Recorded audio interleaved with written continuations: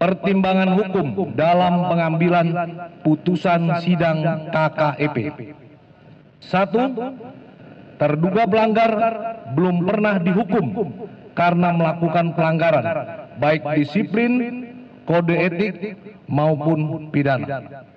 Dua, terduga pelanggar mengakui kesalahan dan menyesali perbuatannya. Tiga, terduga pelanggar telah menjadi justice kolaborator atau saksi pelaku yang bekerja sama di mana pelaku yang lainnya dalam persidangan pidana di pengadilan negeri Jakarta Selatan berusaha mengaburkan fakta yang sebenarnya dengan berbagai cara merusak, menghilangkan barang bukti, dan memanfaatkan pengaruh kekuasaan. Tetapi justru kejujuran terduga pelanggar dengan berbagai risiko telah turut mengungkap fakta yang sebenarnya terjadi. Empat, terduga pelanggar bersikap sopan dan bekerja sama dengan baik selama di persidangan sehingga sidang berjalan lancar dan terbuka.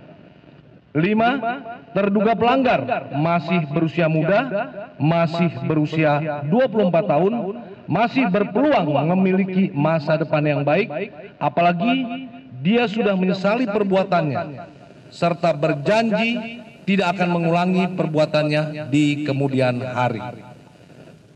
Enam, adanya permintaan maaf dari terduga pelanggar kepada keluarga Brigadir Joshua di mana saat persidangan pidana di Pengadilan Negeri Jakarta Selatan, terduga pelanggar telah mendatangi pihak keluarga Brigadir Joshua bersimpuh dan meminta maaf atas perbuatan yang terpaksa. sehingga keluarga Brigadir Joshua memberikan maaf.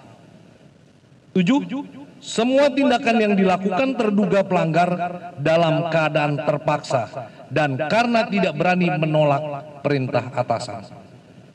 Delapan, terduga pelanggar yang berpangkat barada atau tamtama Polri tidak berani menolak perintah menembak Brigadir Joshua dan saudara FS karena selain selaku atasan jenjang kepangkatan saudara FS dengan terduga pelanggar sangat jauh. Sembilan, dengan bantuan terduga pelanggar